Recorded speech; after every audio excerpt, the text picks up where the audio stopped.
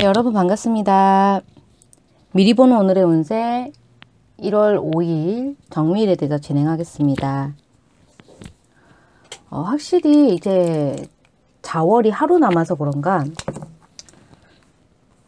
어, 진짜 경자년이 다가왔다는 게 실감이 나요. 저 같은 경우는 이제 병자월 딱 며칠 남지 않은 음, 이 영상 찍기 하루 전날인데 저도 새로운 일이 있었거든요. 어, 직장을 다닐 때 이제 친하게 지냈던 과장님이 계세요. 그런데 몇 년 동안 이제 소식을 잘 모르고 지내다가 어제 카카오톡 메시지가 온 거예요. 잘 지내시냐고. 깜짝 놀랐죠. 어, 진짜 너무너무 반가웠고요, 진짜. 그때, 어, 좀 힘들었거든요. 저희 같은 경우에는 그때가 이제 회사 자체가 되게 좀 어려웠어요. 그래서 그게 긴 기간을 같이 근무를 하지를 못했지만 그 그분도 이제 회사 사정 때문에 다른 곳으로 가시고 너무너무 진짜 반가운 거예요. 아 진짜 세상은 좁고 또 이렇게 소식이 닿는 분들이 생길 때마다 너무너무 참 기분이 좋고 달라진 서로의 어떤 포지션을 또 깜짝깜짝 놀래면서 안부를 주고받는데 참 옛날 생각나고 그렇더라고요. 어, 제가 일했던 직종이 뭐 다른 분들도 그러시겠지만 변화가 좀 많은 부분이라서 안정성은 상당히 떨어지는 곳에서 일을 했었거든요. 지금은 저는 참 편해요. 편하고 행복하고 이 영상을 아마 보실 것 같은데 과장님 새해 복 많이 받으시고 힘내십시오. 2년 다음엔 또 뵙도록 하겠습니다. 조만간 봬요. 자, 오늘은 주인공이 정화죠. 예, 병자월 이제 거의 다 갔습니다. 다 갔고 아 너무 길었죠. 저는 병자월이 더 길었던 것 같거든요. 사실. 어, 병자월 다음에 이제 정축월이 들어오는데 요거 만세력 색자를 제가 보여드릴게요. 자, 이게 이제 제가 보는 만세력 색자예요. 지금 체커풀을 한 상태인데 만세력 색자는 종류가 좀 있어요. 저는 좀 쉬운 거 보고 있고 여기 보시면 2020년이죠. 2020년에 이제 양력으로 이제 1월달 들어왔단 말이에요. 어, 지금 저는 이 녹화를 1월 4일 저녁에 하고 있고 1월 지금 5일 거를 정밀이라는 것을 제가 펼쳐놓고 있어요. 근데 1월 6일 아침 6시 반 직전에 이제 이 병자울이 완전히 물러가고요. 네. 1월 6일 이제 소환이 오거든요. 절기를 보셔야 돼요. 절기. 이 소환일에 아침 6시 이제 30분부터일 거예요. 요때가 달이 바뀌어요. 정초걸로 짜잔 하고 바뀌고 그래도 기해년이에요. 만세력 기둥상으로는 예, 자축인 흐름이 있다고 그랬잖아요. 예, 그래서 입춘이 다가와야만 띠가 바뀌어요, 여러분.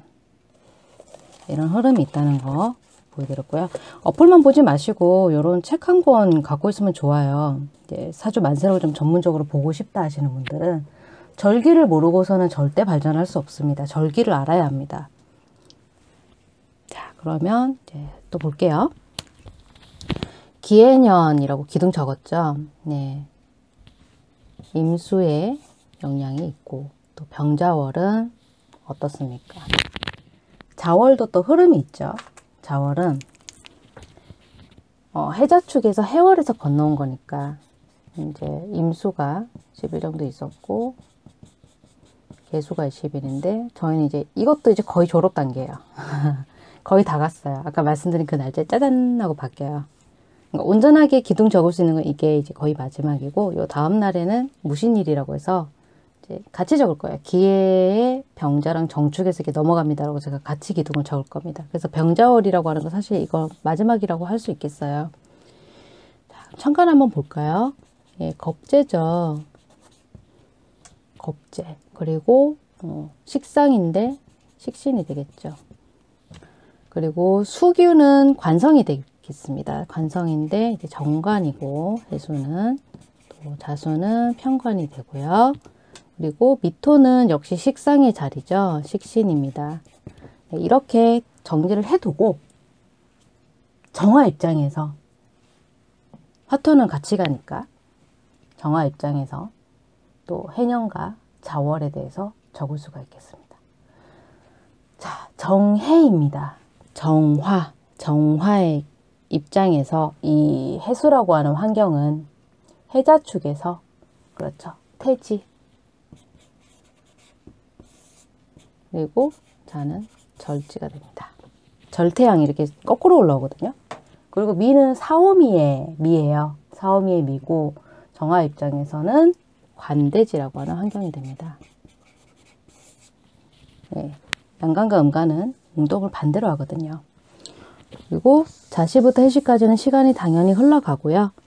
저희는 이걸 보고 또 이제 전체 에너지를 또 가늠을 할 수 있겠죠. 아, 한번 볼까요? 음, 부분적으로 국소적으로 어떤 동네에 사고가 났고 뭐 사건이 생겼고 이런 것은 사실 이 만세력으로 보기는 좀 어려워요, 여러분. 이게 이제 자꾸 풀다 보면은 보이는데 어, 이걸 읽는 분도 있을 것이고 필요 없다 해서 넘기시는 분들도 계실 거예요. 근데 저는 이걸 들어가기 전에 항상 한번 쳐다봐요. 그러니까 저 같은 경우는 뭐 해가 어떻고 사가 어떻고 이런 글자 중심으로만 풀지는 않고요. 글자의 기운을 한번 쓱 하고 한번 훑, 훑어보려는 그런 노력을 좀 하는 편이거든요. 예, 인터넷 글 혹은 이제 도서관에서 빌려봤던 수많은 책들 어, 항상 얘기하는 게 너무 국소적인 것을 쫓다 보면은 큰 것을 보지 못한다고 하는 내용들이 공통적으로 있었어요. 그래서 음, 예전부터 공부를 할 때부터 좀 전체적인 안목을 보려고 좀 틀리면 어떻습니까? 예, 틀리는 것을 너무 겁먹으면 안 돼요. 그러면서 성장을 해야 하기 때문에 처음부터 막 사주를 내가 막 쪽집게처럼 도사처럼 100%다 맞추려고 하다 보면 정말 많은 것을 놓치게 될 수밖에 없어요. 항상 겸손해야 되고 그래서 에너지를 보고 들어간단 말이죠. 자, 기회가 일단은 큰 연도였죠. 거의 이제 사고로 들고 임수가 그리고 병자 병자에서 개수가 거의 끝나간단 말이죠. 이제 정축월이 되면 역시 개수가 이어지긴 하는데 그건 9일 정도 이어질 거예요. 어쨌든 눈과 비가 지금 현재 거의 잦아들고 있는 음, 계절이다. 하늘에는 이제 먹구름이 물러갈 때를 대비해서 해가 이제 딱 대기를 하고 있고 그리고 이제 정미일이란 말이에요.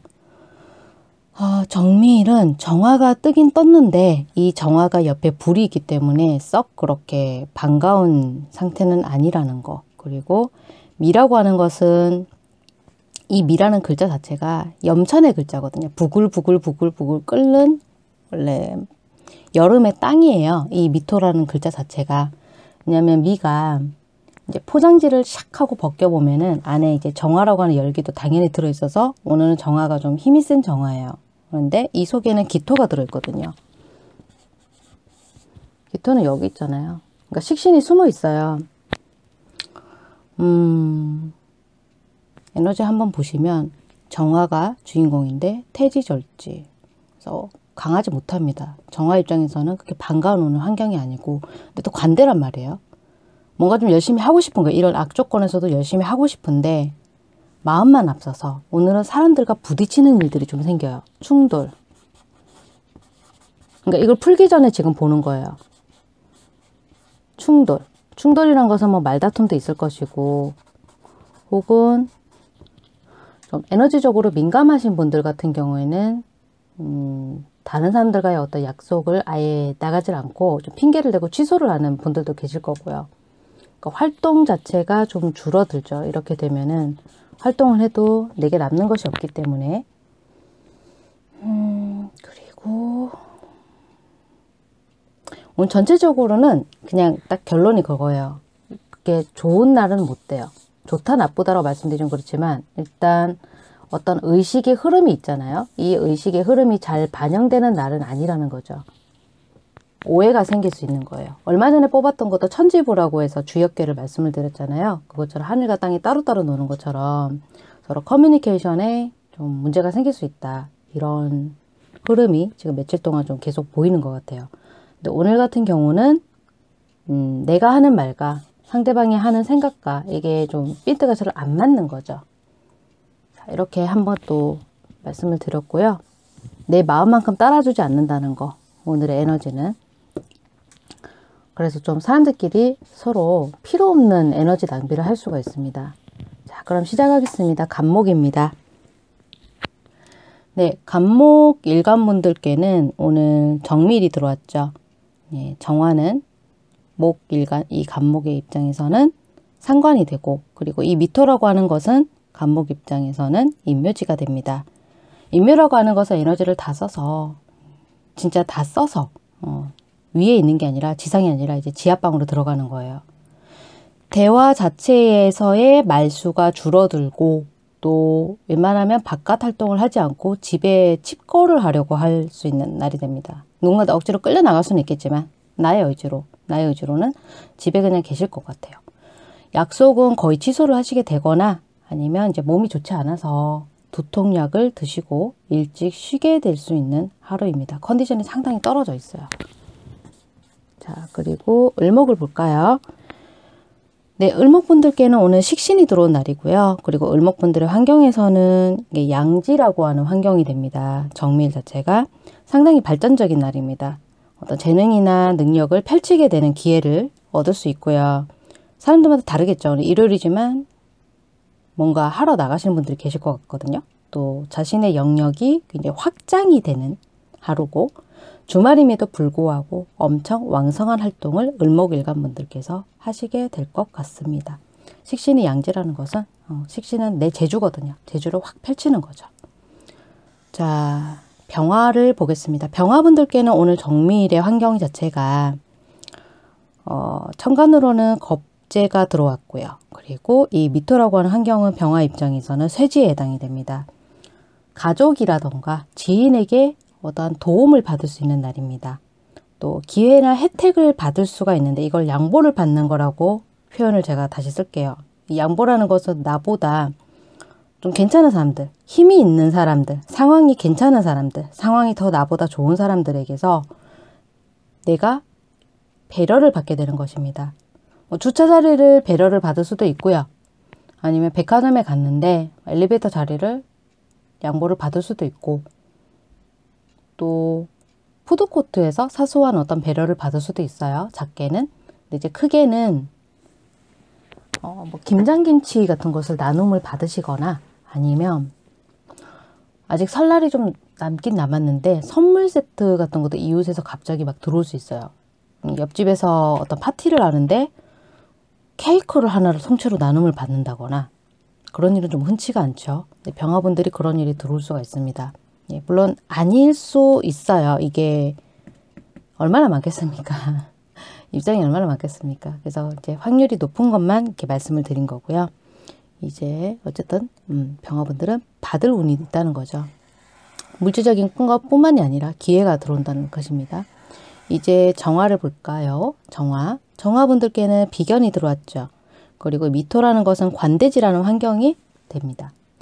주변 사람들과 뭔가 사소한 오해가 생길 수가 있습니다. 이 정화분들은 오늘 오해라고 하는 게 내가 고의적으로 일으키는 오해가 아니고요. 정말 상대방한테 잘해주고 싶은데 이 잘해주려고 하는 마음이 이상한 방향으로 오해가 생기는 거예요. 그래서 정화분들은 오늘 속상한 날입니다. 예, 웬만하면은 내가 잘해주고 싶다고 해서 나서지 않는 것이 사실 좋아요. 조금 뒷걸음질 쳐야 하는 날 중 하나입니다. 이제 무토입니다. 무토분들은 어떠한 날일까요? 이게 정인이 들어온 날이고요. 그리고 미토라는 것은 이 무토 일간에게는 쇠지라는 환경이 됩니다. 가까운 미래에 어떠한 벌어질 일에 대해서 약속을 오늘 하시게 될 가능성이 높아요. 근데 본인한테는 아주 좋은 기회가 될 수 있는 약속이고요. 또 조건도 굉장히 이 무토일간 분들께 유리한 계약 조건입니다. 뭐 사기를 당한다 이런 건 아니고요. 어, 어쨌든 본인한테 그런 일도 생길 수 있어요. 어, 무조건 세상이 막 각박하고 그런 건 아니거든요. 좋은 기회가 된다는 것은 이직에 대한 것일 수도 있고 아니면 뭐 이사라던가 아니면 또 다른 어떤 커리어적인 기회가 될 수도 있어요. 여러 가지가 있을 수 있는데 어쨌든 본인한테 좋은 약속이 들어올 수 있습니다. 오늘 이제 기토입니다. 네, 기토분들은 편인이 들어온 날이고 미토는 역시 관대지가 되겠습니다. 내 마음하고는 좀 달라요. 오늘 흘러가는 부분이 결실이 부족하고요. 또 창작 결과물로 먹고 사시는 프리랜서나 상공인 분들 같은 경우는 완성도가 좀 아쉽습니다. 예를 들어서 이 기토가 쇼핑몰을 하고 있는 분이에요. 그래서 일요일에 막 뭔가 포장을 해요. 주중에 빨리 나가야 되는 날이라 음, 월요일 날 바로 택배사에 실어 보내야 되는 건데 그냥 대강대강 할 수 있다는 거죠. 어, 내 손을 거쳐야 하는 일인데 그냥 남에게 맡겨버린다거나 그래서 완성도가 좀 아쉬울 수가 있고요. 오늘은 그래도 내 마음이 앞서갈 수 있으니까 이렇게 대강대강 하다게 내가 귀찮아서 대충대충 하는 게 아니고 마음이 좀 이렇게 촉박함을 느껴서 서두르다 보니까 완성도가 떨어지는 부분이거든요. 그래서 나 자신에게 너무 엄격하게 시간 안에 다 해야 돼 이런 마음을 갖지 마시고 마음과 욕심을 조금 내려놓는 것이 오늘의 포인트가 되겠습니다. 그리고 이제 경금 아, 한자가 좀 지워졌네요. 종 모양이랑 좀 비슷한 글자잖아요. 종교 글자. 자 경금 경금은 경금 일간 분들은 오늘 관성이 들어왔어요. 관성이 들어왔는데 정관입니다. 정관이 정화로 들어왔고 미토라는 환경은 관대지라는 환경이 되겠습니다. 오늘은 상대방한테 내가 예전처럼 너무 편안하게 대하다가 어떤 구설수에 말린다거나 안 좋은 소리를 듣는다거나 그리고 대리본이 생길 수 있습니다. 주변 사람들의 생각들이 오늘 좀 예민할 수 있거든요. 내 생각이 예민한 게 아니라 상대방 생각이 예민하다는 거예요. 본인의 배려심이 좀 필요합니다. 좀 더 편안하게, 좀 더 상대방 입장에서 생각해주고 약간 좀 섬세하게 생각하고 민첩하게 움직여야 할 필요가 있습니다. 오늘은. 그래서 누군가와 오늘 약속이 잡혀 있다. 그러면 하나부터 열까지 좀 캐치를 하시고 발빠르게 움직이시는 게 좋겠습니다. 촉을 세우십시오. 오늘은. 이제 신금을 볼까요? 네, 신금분들은 오늘 편관이 들어온 날이고 그리고 미토라고 하는 쇠지의 환경이 들어옵니다. 어, 일이라든가 본인의 재능에 대해서 지원을 받게 되는 하루인데요. 그동안 뭐 아주 힘들었던 신금분들 정말 막 먹고 사는 문제부터 해서 어, 시험이나 낙방하고 막 좀 고배만 마셨던 분들 그런 분들은 오늘 보상을 받게 되는 날입니다. 든든한 하루입니다. 어떤 사무실이 필요한데 사무실에 대한 계약 조건을 아주 싼 값에 또 제안을 받을 수도 있고요. 어, 식사 대접을 받는다거나 어, 위안을 받게 된다거나 심리 상담을 받게 될 수도 있어요. 무료로. 그래서 신건분들께는 오늘 주변에 도움과 지원이 들어온다고 보시면 되겠습니다. 이제 임수를 볼까요? 네, 임수분들은 오늘 천간으로 정제가 들어왔고요. 그리고 환경으로는 양지에 해당하는 환경이 들어왔어요.